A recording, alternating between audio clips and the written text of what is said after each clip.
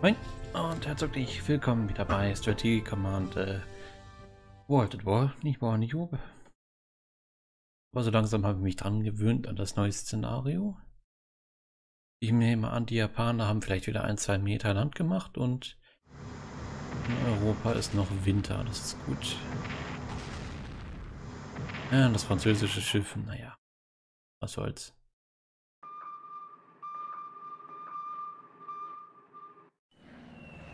Ah.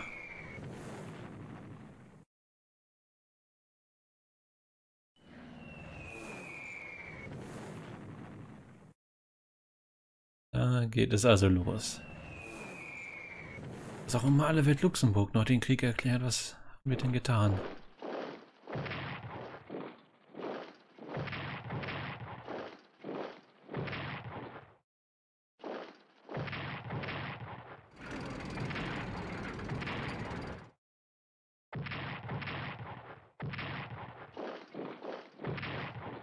Schön, die Position der Einheiten ist sogar noch ein bisschen anders, weil halt alles so eng beieinander gedrängt ist.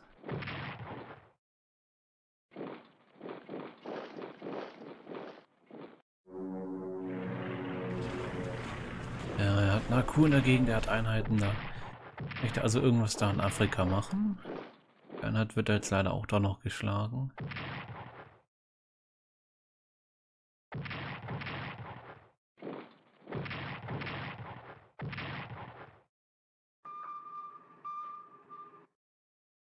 Klar, logisch, die Kolonie, stimmt ja. Belgien ist ja jetzt im Krieg, deswegen, wenn denen das da hinten gehört. Ich habe mich gerade nur gewundert, warum wir irgendwo da was kriegen. Ja, ähm. Und sie haben sich Litauen am Ende geholt, hat man noch kurz gesehen. Die Niederlande kapituliert sich schon wieder. Belgisch-Kongo ist also mit dabei.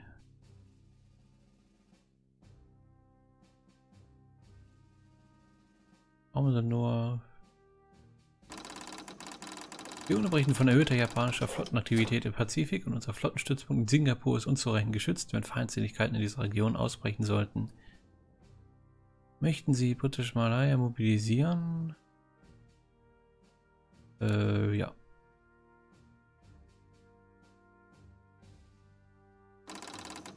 Schwierige Situation auf dem Kontinent und im Rand der Heimat müssen die Kräfte, über die wir verfügen, wenden, um England vor einer Invasion zu schützen. Achso, das ist die Home Guard. Kennen wir auch aus Mount Europe und äh, machen wir. So, jetzt ist mir natürlich mein Fehler aufgefallen. England ist ja noch nicht im Krieg mit Japan, deswegen kann unser Schiff hier im Moment nur herzlich wenig anfangen. Aber du kannst ja mal nach Singapur fahren. Jetzt eigentlich als Minion hier mit dabei?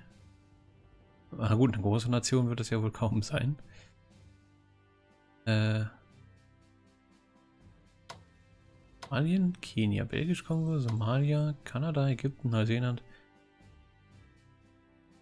Er ist also auch nicht mal eine kleine Nation.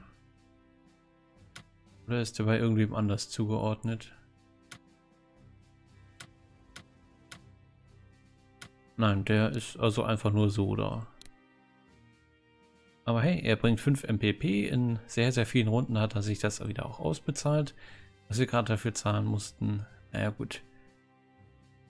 Wir können dafür jetzt auch schon britische Einheiten hinbringen. Dieses Schiff kann ja eigentlich auch schon mal nach Singapur.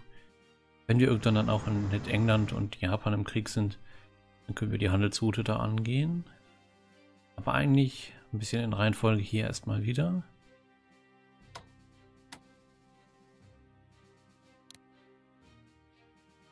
Ja, die Versorgung von ihm ist schlecht. Sag mal, wie ist das mit den chinesischen Akkus?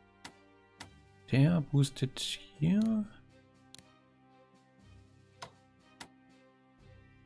In einem Sinne können, können wir den vielleicht hier rüberziehen. An die Stadt mit 10 bringt ja nun eigentlich gar nicht genügend.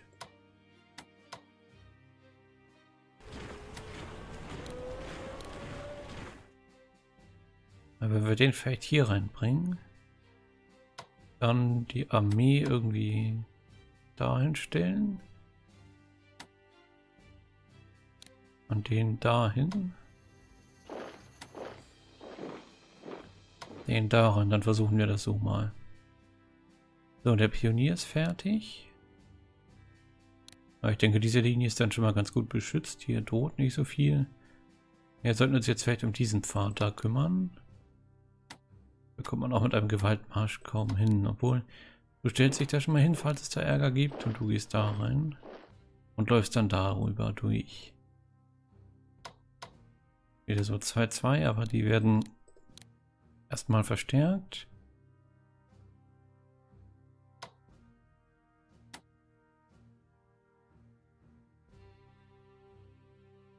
Nun, was machen wir eigentlich mit diesem Haku? Es könnte auch versuchen, sich dahin durchzuschlagen.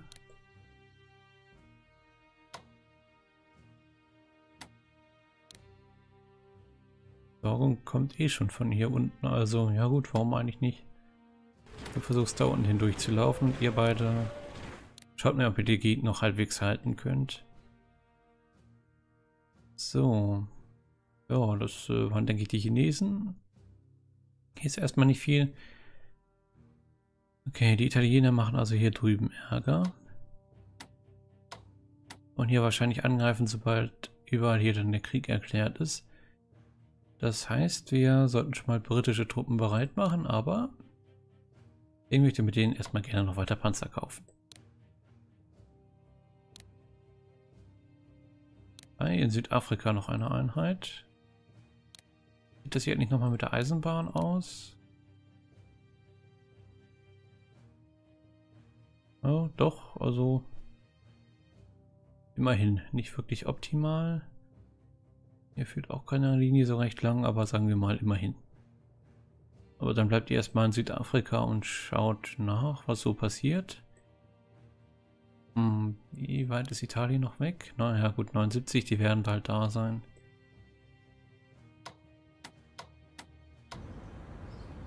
Dann sollten wir hier vorbereitet sein.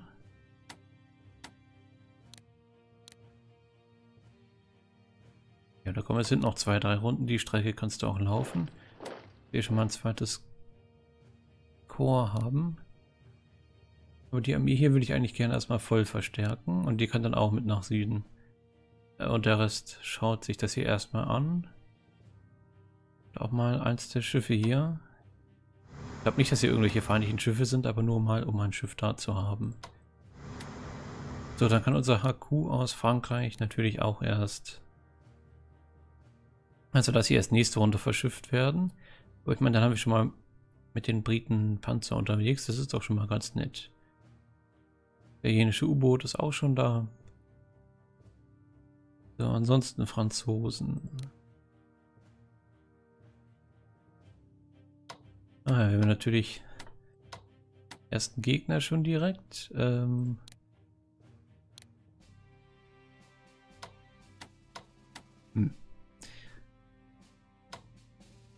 Also ich weiß gar nicht, ob die belgischen Jagdflugzeuge im Zweifel auch bei uns bleiben würden oder ob die sich einfach stumpf auflösen, aber viel erreichen können die die Sonde eh nicht, falls regnet.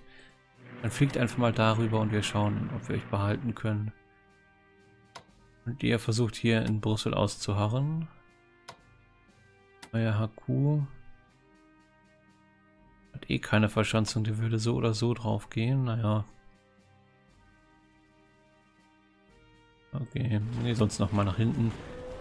Aber in Belgien ist sonst auch nicht mehr viel zu machen. Jetzt auch diese Einheit, sollen wir die da wirklich vorschmeißen?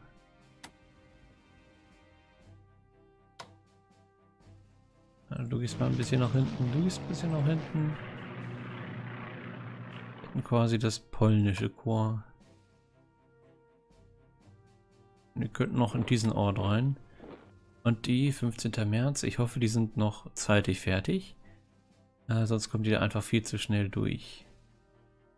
Britische Luftwaffe bleibt erstmal so. Ihr macht das auch gut. Dann die gute alte Frage nach den U-Booten. Wir haben hier noch eins direkt vor uns. Wo wir, denke ich, sogar die Chance haben, es zu zerstören. Mal in Bomber-Modus. Der taucht einfach ab. Warte, da ist er.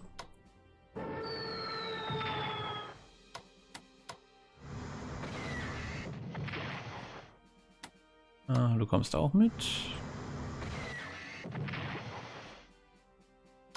Sehr schön, ein Boot weniger. Hier ist dann erstmal keiner. Ja, dieses französische Schiff gibt es ja noch. Bist verstärkt, dann kannst du die nächsten paar Runden vielleicht wieder mitmachen. Und dann gucken wir mal. Da ist keiner, hier irgendwo einer. Ich glaube, wir haben keine Sichtung. Genau, der wurde schon bewegt. Der fährt hier drüben mit nach Singapur. Äh, ja, ich glaube, wir haben sonst keine weitere Sichtung.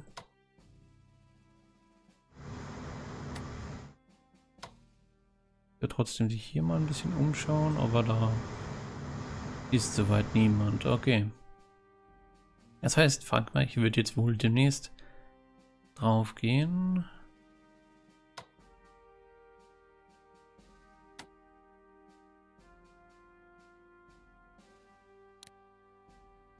sich auf den hochzuziehen, ich weiß nicht. Na gut, gehen wir auf Nummer sicher, kommen. Die Italiener da irgendwie Ärger machen. So, dann schauen wir mal. Die Briten haben, sind eher am Forschungslimit und haben sich noch einen Panzer gekauft. Aber dann haben wir bald alle. Ich meine, für die wird ja auch schon getaggt und so weiter. Ihr seid pleite USA. Sagen jetzt noch Produktion noch ein höher. Dann haben wir schon mal die Grundlagen für viele Punkte und bezahlbare Einheiten. Sowjetunion darf mit mehr Punkten rechnen, plötzlich auf 48%, weil hier den einen den Krieg erklärt hat und sich Litauen geschnappt hat. Das hat gut Prozente gebracht.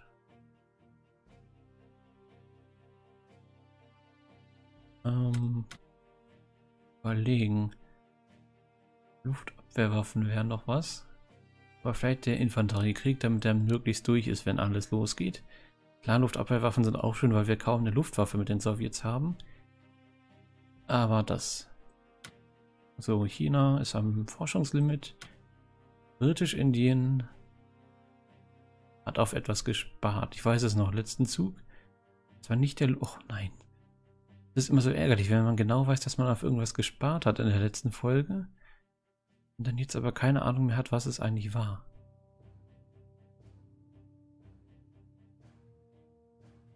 Ah, Produ was die Produktionstechnologie? Genau, ich glaube schon Produktionstechnologie. Weil Flugzeuge ja so teuer sind. Und dann machen wir bei den Briten ein bisschen Arbeitsteilung. Die äh, aus Großbritannien bringen dann ihre Armee, unter anderem auch mit Panzern, nach Ägypten. Und die Indischen holen sich dann äh, die Flugzeuge und auf Dauer auch noch einen Schwung Bodeneinheiten. Und dann haben wir hier starke britische Verbände. Wir können auch aus den Kolonien dann ein bisschen nachziehen. Und dann schauen wir mal, ob wir die hier nach China bringen. Äh, oder insgesamt hier nach Ostasien oder hier irgendwo in den Bereich. Das ist mal die grobe Strategie.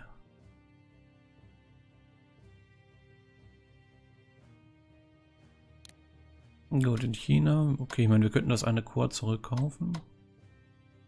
Ah, fehlen ja schon einige, kommen. Die holen wir uns mal zurück. Die fangt hier auch an Diplomatie. Achso, nee, British Malaya ist noch gar nicht dabei. Er ist bei 99 Prozent. Jetzt auch mal da rein. Ja, es geht recht schnell. Alle sind pleite. Also will ich hier schon mal eine zweite Einheit runterschicken. Die sind zum Teil alle so stark geschwächt.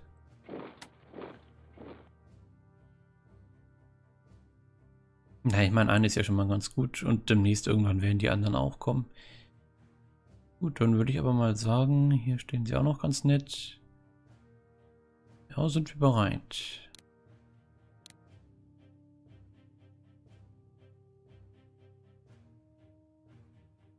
So, wir kriegen hier nochmal finnische Gebiete.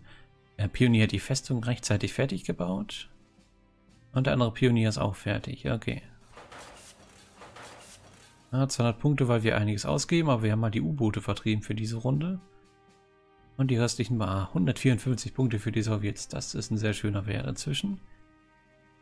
Ja, und dann äh, würde ich an dieser Stelle erstmal wieder sagen, vielen Dank fürs Zuschauen.